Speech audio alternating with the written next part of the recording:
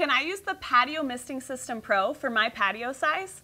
I have a 10 foot by 20 foot by 10 foot patio and a 30 by 31.